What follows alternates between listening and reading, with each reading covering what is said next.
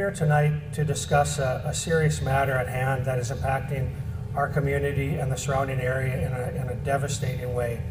The purpose of, of coming together tonight is to raise awareness of drug-related issues, to educate about the unfortunate avail- availability of deadly synthetic drugs, and to learn to speak the language and share ideas for intervention moving forward. This community forum is, is really a collaborative effort among an- many organizations and sectors in Grand Forks and Polk counties. And, and I want to list uh, the people that are, the, or the organizations that are involved.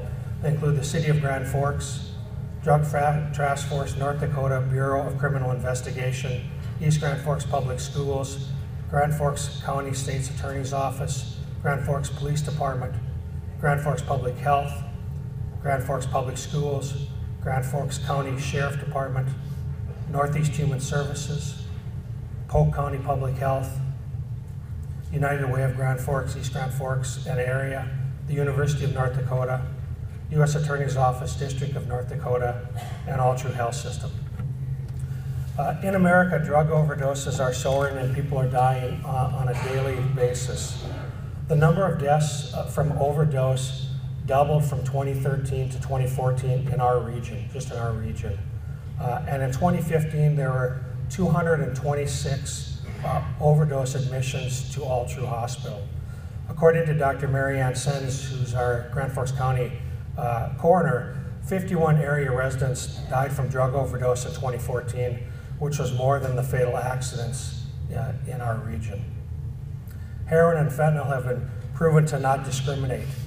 People addicted are from all walks of life, all ages, all genders, all races, and all socioeconomic backgrounds. It can happen to anybody. I feel comfortable saying that almost everyone in this room in some way is connected to this epidemic probably. For some of us, it's quite personal. I still remember the incident several years ago when I found out my 20-something nephew, promising nursing career, wonderful wife, died of a heroin overdose. So a lot of us, it's very personal. But even if you don't know somebody from your family, you probably know somebody in the community or somebody in the region. Tonight, we want to start to have a conversation to help educate the public, bring forward ideas to prevent drug use and abuse, and focus on the main message that overdose uh, death is preventable. This, the agenda tonight consists of viewing the documentary Faded, which is locally produced and featured, featuring the real life struggles of recovering addicts and the family of an overdose victim. This documentary is also being shown in the school systems in this area. After the documentary, we will open the floor to questions from our, for our panel of experts from the medical community, public health, education, human services, and law enforcement. Again, I want to thank you for taking the time out of your evening to gather here and to show your concern for our community. We don't have the answers to this problem yet. Uh, this is why we're here tonight. It's going to take all of us working together neighbors, friends, parents, legislators, educators, law enforcement, and treatment facilitators. That's the only way we're going to be able to tackle this epidemic. At this time, I'd like to introduce Maylee Smith. Maylee, a Grand Forks native, uh, is the owner of Maylee Smith Productions and Olena Films. She graduated from North Dakota State University in 2015 with a bachelor's degree in women and gender studies and sociology. Maylee aspires to make documentaries that will engage people in conversation about meaningful social issues, with her first documentary being Faded. Please help me join uh, Maylee onto the stage.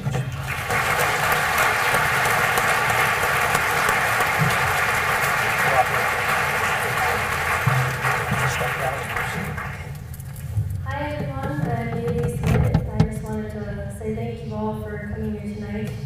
Um, as you'll see in the film, one in three families struggle or.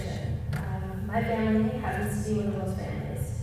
So when Lori Redding approached me asking me to uh, create this documentary, I felt like it would be the perfect opportunity to tell people stories from a different perspective. Um, too many families are alone in the struggle, and quite frankly, way too many kids are dying. So my goal for this documentary was to uh, create a conversation and raise awareness these issues and to shed light on something that our community needs to be talking about a lot more. Um, obviously, I wouldn't have been able to do this documentary without all of the amazing people that were involved. Um, you'll hear their stories and they are absolutely heartbreaking. Um, I definitely shed more than a few tears during the interview process. Uh, but their stories also carry a lot of hope.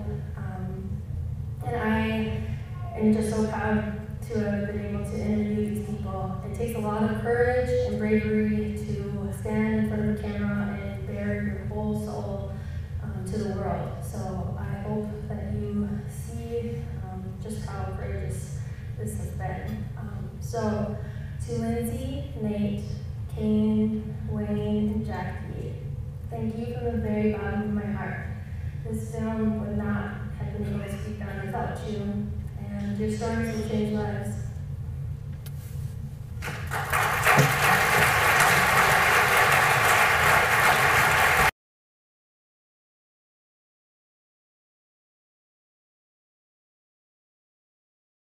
Now I'd like to give the floor to a panel of experts from our community and region. This group of individuals is from medical communities, public health, education, human services, and law enforcement. They will each introduce themselves and give a brief description of how they are involved in this crisis. Following their introductions, I invite you to come to the microphones that are in each aisle uh, for any questions or concerns that you have. Um, You can address your concerns directly to one of the members of the panel, or if you want a, a general question, and then the panel members can decide how they would like to answer it. Uh, We have about 30 minutes for this, so I, I would hope that if you could limit your questions or, or, or concerns to uh, two to three minutes so that we can let the panel members uh, uh, respond. Uh, And I thank you in advance for your participation. The first member of the panel that uh, I'm going to introduce is Debbie Swanson, who's the Director of Grand Forks Public Health. Debbie?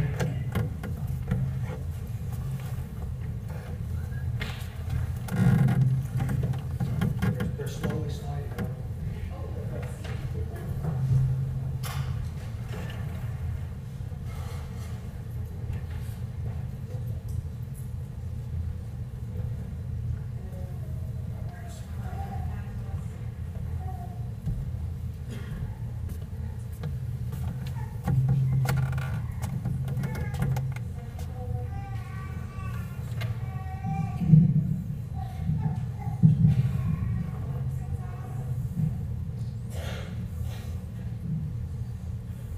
Musical microphones,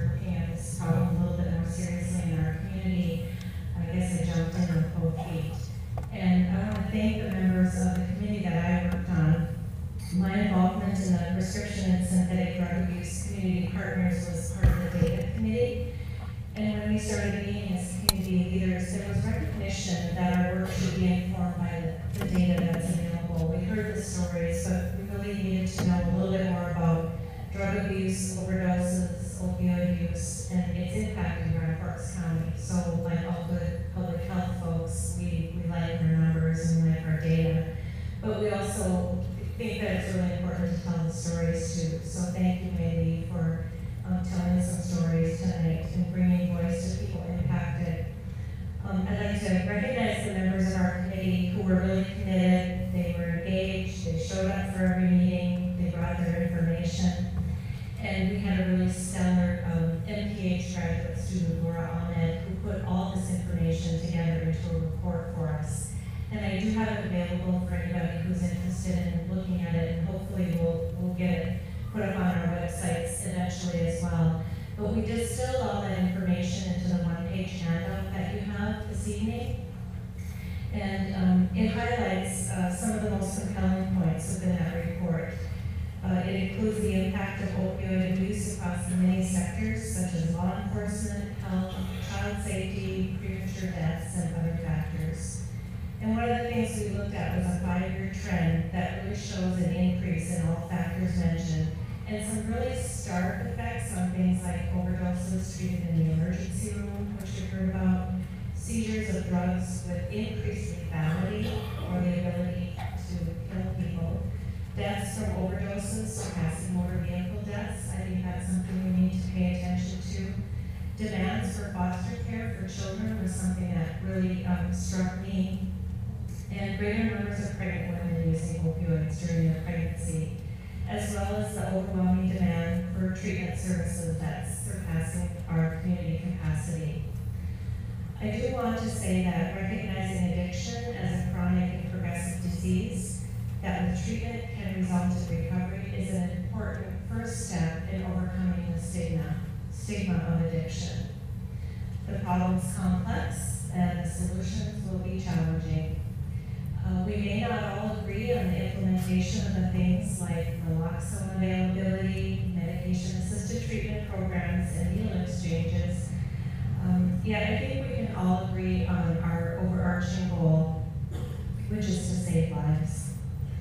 Uh, we're assembled here today to talk about the challenges of drug overdoses and the dangerous use of fentanyl, but we cannot neglect the need to strengthen treatment and support for all addictions, including alcohol and other drugs. On the opposite side of that infographic, the one-page handout that you have, is a listing of treatment resources in our region. Uh, it's not meant to be a comprehensive list of all the services that are available, but our community partners are committed to identifying the gaps, becoming more inclusive, um, and doing a better job of giving the information out to the community. I spent my day today in a, a hearing of legislators, and many of them are here this evening, and they heard us talk about how important behavioral health issues, including substance use disorder, is, and the need to devote more resources to it, not only in our region, but across the state. Uh, one of the things I talked about was medication-assisted treatment, and uh, programs are needed to help people achieve long-term recovery as well, such as peer supports, sober living environments, and changes in policy, so that fewer people end up incarcerated and more people find a path to recovery. Most importantly, I want to leave you with a message that Grand Forks and East Grand Forks are pretty resilient communities. We have a very collaborative spirit, and this is going to be needed in the months and years ahead to find the necessary solutions to turn this situation into hope and healing rather than the devastating consequences that we observe this evening. And now I'd like to turn it over to the U.S. Attorney Chris Myers for some remarks as well. Thank you.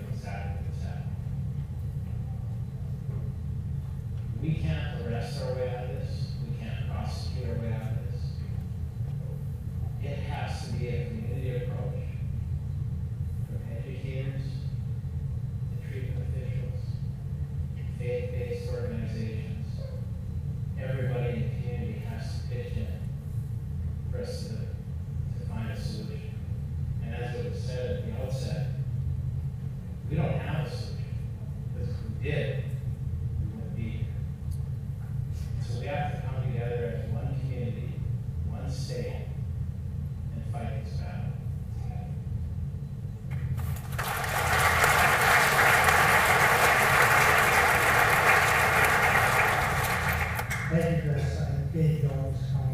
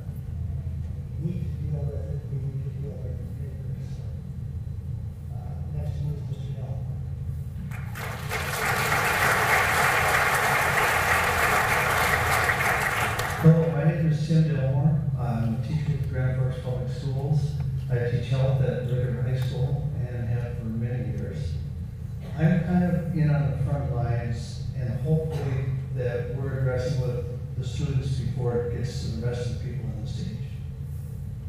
I'm very fortunate to be in a school district whose central administration, school board, staffs are very responsive to the needs of the kids. I'm also very fortunate to be in a community that on a Tuesday night, we can get this many people to show up to address the problem. One of the questions that I get really often, after teaching five different decades of students, is how drugs changed over the years? Are there more kids that are taking drugs? I really don't think so. In fact, I think there's less. And the reason that I say that is throughout all the years, and some of you were probably into that, is we had a group that took drugs, an experimental group, and a group that didn't take drugs. And the lines were pretty clear. And that experimental group tried drugs, didn't like them, moved on with their lives and passed through it. We don't have that group anymore. Kids don't get to experiment with drugs. We're dealing with drugs right now where you don't get mistakes. And like you said, you don't get do-overs. So it's very crucial that we teach kids decision-making skills before they get to that point. Because once they get to that point, they're gonna end up in somebody else's hands. As a school district, we've met very many times uh, as health teachers. Every student in the high schools watched this video and talking to students afterwards and written responses. Uh, they were very responsive to the video. They thought it was, was very factual. Uh, that's what they're seeing on the ground. So I'm very glad that you're out here to join us tonight and thank you for being here.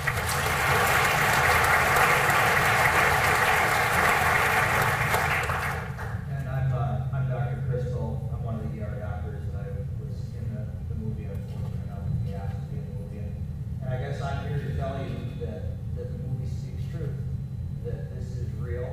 I'm just gonna attest to the, to the, uh, to the movie, and that, uh, uh, we should be very concerned that we need to get the word. Uh, I see it in our community, I agree with everything that was said in the movie, it crosses lines. Uh, it's going to affect everyone, if it hasn't affected your family, it will. And, uh, we've got a lot of work to do, and I'm glad to see everyone here.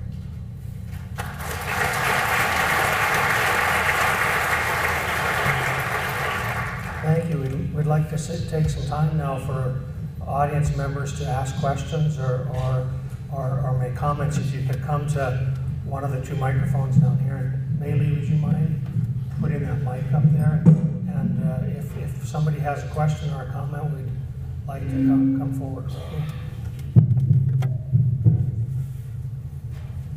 hopefully while somebody's coming to the podium, Dr. Bo, I have a question for you. W eighteen, uh, W eighteen, the new, the new drug, have you, have you heard anything about that, that was in the, If you're an fentanyl, you're talking about? yeah, it was, it was just in, just on, on the news this weekend? Are you referring to furanyl fentanyl? So, It's been alluded to. Uh, One of the things I think we have to be concerned about is um, the sophistication with which uh, drugs are being provided to our uh, community. If we were mad about the tobacco industry manipulating nicotine in cigarettes, then we should be out of our minds about the organic chemists who are sophisticated, who are manipulating the drugs, who are making them very powerful, avoiding law enforcement, and then providing this drug through a sophisticated network of drug dealers from China to Mexico on up through the drug drug distribution networks into our communities and our kids. These drugs are mixtures of very complicated uh, chemicals. They are made by uh, labs with actual scientists working in them. And uh, uh, they are dangerous, they are addictive, and the furanyl fentanyl, which you're referring to, is just one derivative of a drug that is used in my emergency department for people, uh, for anesthesia, for severe pain, for cancer-associated pain, and under the supervision of, uh, physicians, nursing staff, and people that are really knowing what they're doing in the administration. And uh, we have, uh, with drugs like that, a fairly narrow margin for error. And that's the reason we administer it uh, in the emergency department where somebody's got uh, SAT monitoring, blood pressure monitoring, the ability to do this in a safe way. I certainly would not want to be taking that drug uh, out in the streets.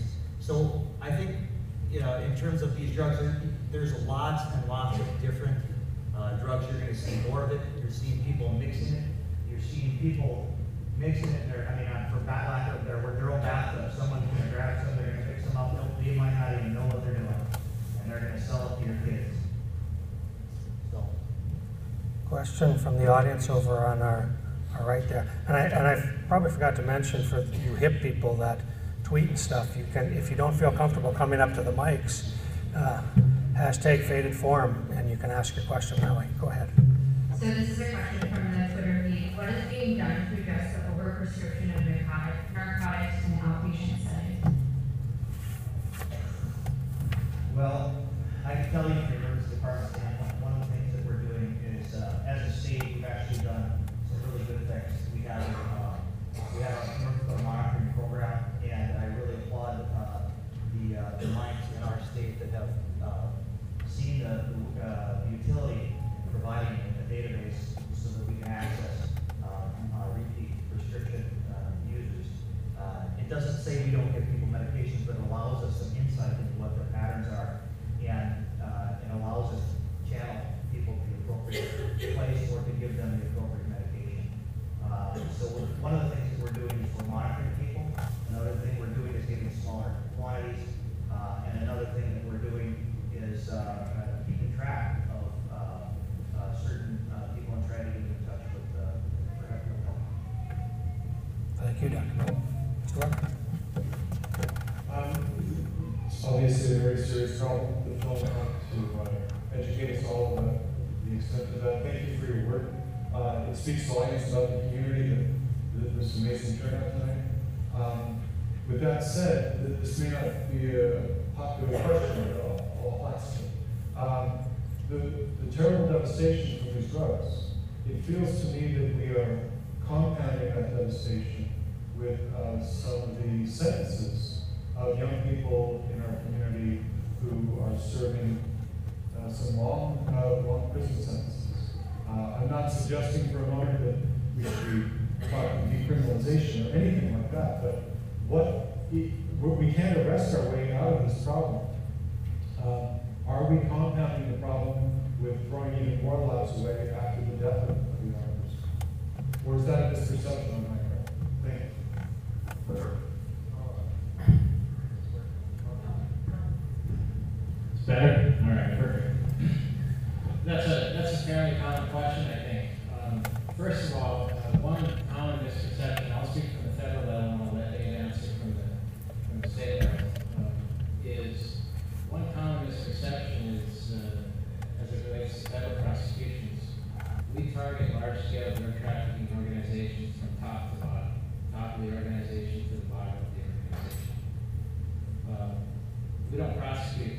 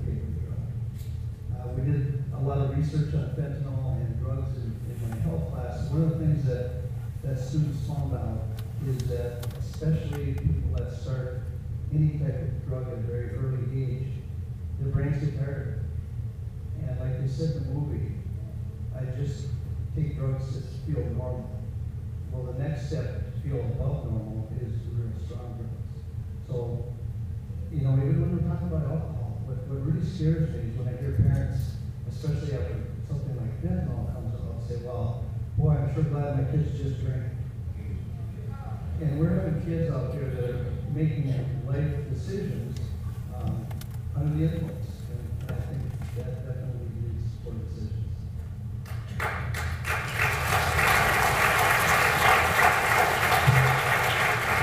I, I might also comment on that, and, and I, I would, I would agree with everything that's said up here. Um, I think a lot of people that are really interested in legalizing, uh, marijuana are people that are using marijuana, and I think we could be using marijuana. I think we're biased. I think we're biased. I think It's very difficult, I think we're all, I would agree that, I mean, I would agree that I'm not the best judge of myself, and I would wager a guess that most people aren't a real good judge of being honest with each of your own selves.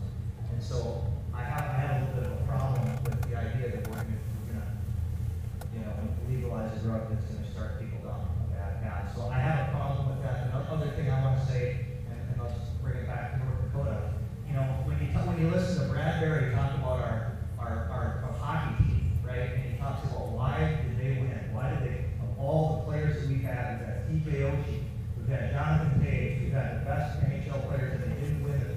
They didn't win an NCAA tournament, right? And he says, what do we have in Grand Forks, North Dakota, in our hockey program? We have a culture, a culture of winning.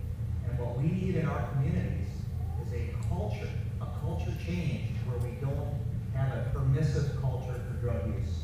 And that's what we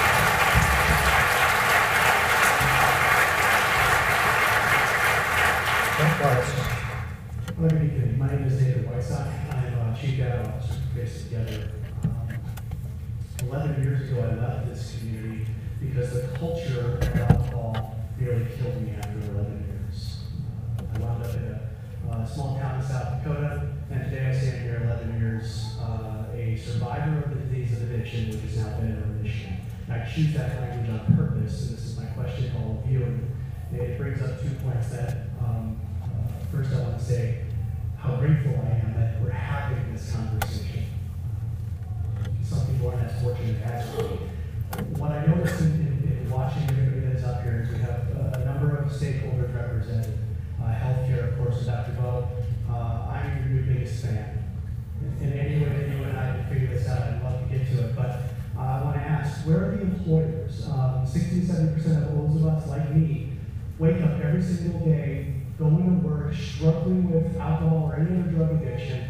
We're in the workplace. I want to know where the, the employers are and how they can help uh, solve this problem in this community. I think they got to be standing up there too, because they're the ones with the money that can help drive this problem, and they can help get people well, not just the person who's suffering, but the coworker, the mother, the father who's coming in struggling because of the emotional stress. So I just encourage this community, uh, community that I still call home, uh, to add that to the mix. I think they bring a lot of um, input to where this disease exists every single day. Just thank you for you do.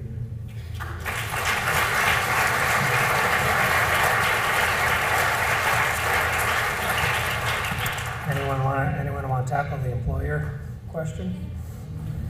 Oh, are there any employers out there? Because it's a great point, right? It's a great point. That's why we need everybody in the community to pitch in, whether it's employers or parents. We probably only have time for two or three more questions, so, so go ahead, ma'am.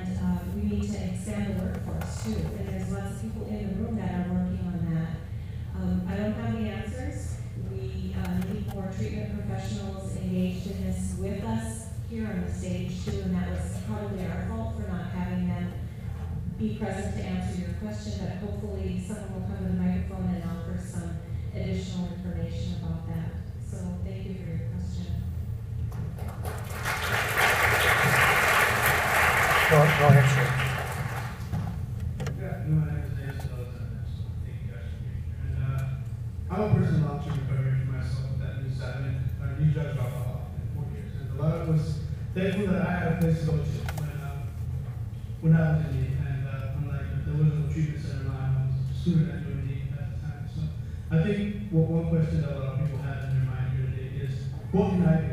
What can I do to prevent this? If I'm outside the lines of, of these policies and everything, and I just want to ask, what are the policies right now that people can use? Uh, if any of you are familiar with the CARA Act, Comprehensive Addiction Recovery Act, uh, that's going in, in place right now, if you've heard of it, I mean, it, it's the first, uh, bipartisan act, uh, passed the Senate, and right now it's looking for co-sponsorship. Our state, uh, representative has a co-sponsorship, but it focuses on four major areas, intervention, or prevention, treatment, recovery, and law enforcement, and that's kind of what I see across the board up there. Is this a, a- an act that you yourself would possibly support, or that you would encourage people here to, I have a petition here today, uh, urging our state representative to co-sponsor this bill. It's a big deal, and it would open up for more, uh, treatment facilities here, more training for, for parents and for law enforcement specialists to the job. And is that something, or any other policy that you guys would encourage us to, to stand by? Well, I. Since I'm part of the executive branch, I can't, uh, I can't endorse or, or, uh, or uh, sign on to your petition, so I'm the best one to answer this right now. is that- So I can't do that, but to your point, is what can you do? Or what can any of you do, uh, on this issue is a, is a, is a, is a key question, right? And the answer to that question is engage, okay? Just like you're doing, you're engaging in legislation or, or lobbying for legislation that you believe can help this problem. If you're a parent, engage, okay? One of the biggest things we're seeing, and one of the differences that we can say is different now than it used to be five years ago, ten years ago, right? Right here. Right here. Your kids that live in your household do not have an expectation of privacy. Right? Monitor what they're doing.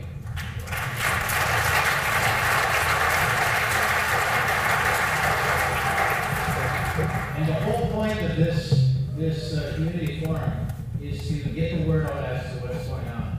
But if you can take anything away from the forum tonight, is just that, engage. Engage as a parent, as a teacher, as a legislator, whatever your role is in this community, make a difference on this issue. If you believe in something strongly, advocate for it. Write letters, send emails, work at it. Work with us to find the solution. This is kind of a general conversation. Uh, my Jacob Garrett, I'm a student at. Uh, working with a group of friends to get an organization on campus uh, that's on drug education, essentially, anywhere alcohol uh, psychedelics. Uh, one of the projects we're working with is to get drug testing kits. Uh, one of the things that we found is a kit that uh, you can essentially test drugs for potency. It was mentioned a couple times in the video that uh, these overdoses happen when people don't know what they're taking. Um, you know, it's cut multiple times. You mentioned it might be in the bathtub, uh, and that's the fact. Uh, what we are focusing on, that decision's already made by that person, that they're going to take that drug. Um, and by providing a kit, they'll be able to know what they're taking and prevent overdoses. And I was just curious if you guys uh, had comments about the merit of that. I would say timeout, no way. You're not gonna be able to create a kit that's gonna be able to determine the potency of the chemicals that coming out of China that are changing on a regular basis.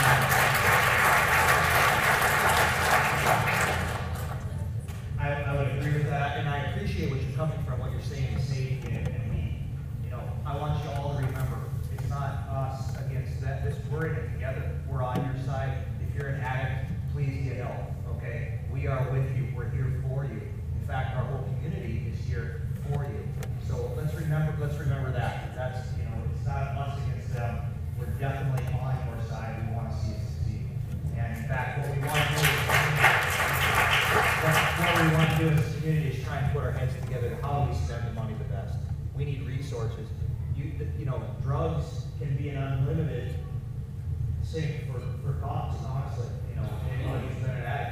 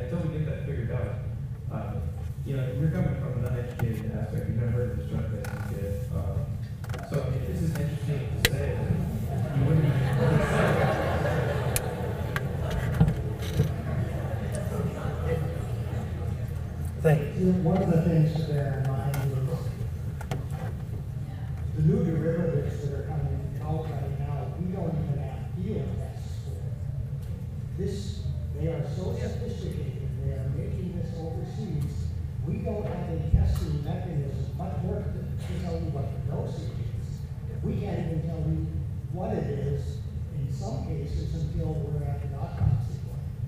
You, you can, you can go to, uh, uh, uh, the web and do some research on the, well, on the the fentanyls, that you can kind of look and see. I mean, I'm a chemistry major in college, so, I mean, this is, you know, this is complicated chemistry science.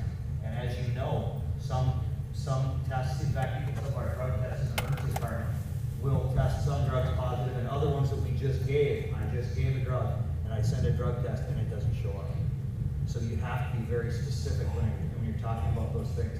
And, and these guys are right, I hate to say it, they are right, that you are not gonna be able to monitor every new drug that comes out with a test kit that allows you to understand potency, because, because, now you may be talking about a specific thing for heroin, for example, but it may not test furanyl fentanyl, which has a acyl group that's onto the, you know, whatever carboxylic chain. You know, these drugs have been modified. And the truth of the matter is that you would have to do a lot of research on each drug as they, as they make it driven in China, or wherever it is across the globe that they're doing.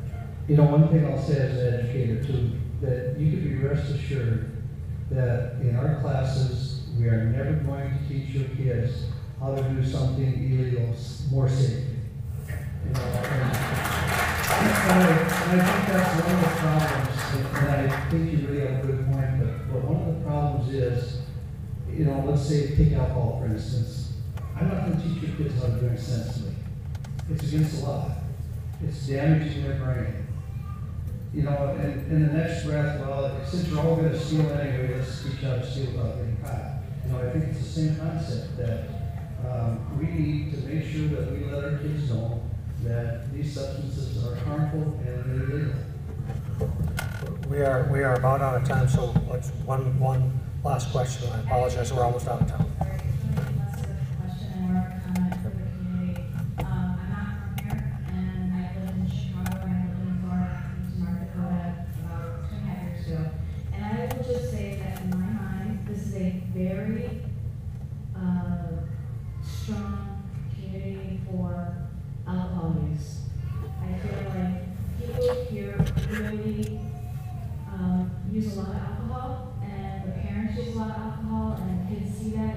Use a lot of alcohol. It's kind of glorified here, and I, it's, it's very concerning to me as somebody who came from someplace where I think people are completely nuts, Florida, um, that I come here and I find the alcohol use of the people that live here worse than there. And I think that's something we all have to look at ourselves and say, am I using this alcohol? Am I using it to treat my own symptoms of depression or anxiety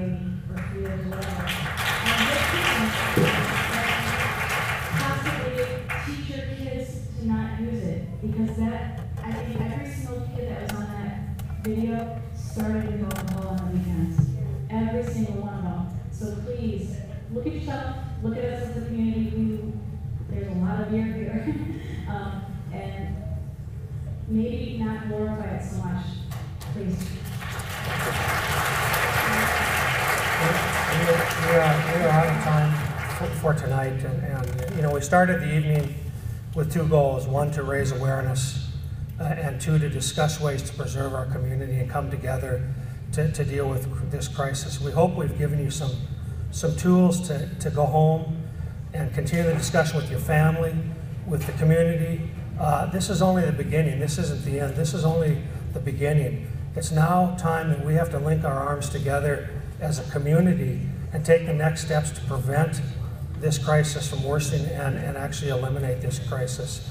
I want to thank uh, Maylee for her great video. I want to thank the, the panel for that. And I, and I really want to thank you all for your time. And I expect we're going to be having more forums about this as time goes on. And thank you so much for coming. And if you want to stop, there's cookies and lemonade on the way out. And I'm sure if you have a if you have a question, I'm sure the panel will be glad to talk to you down in front. Thank you.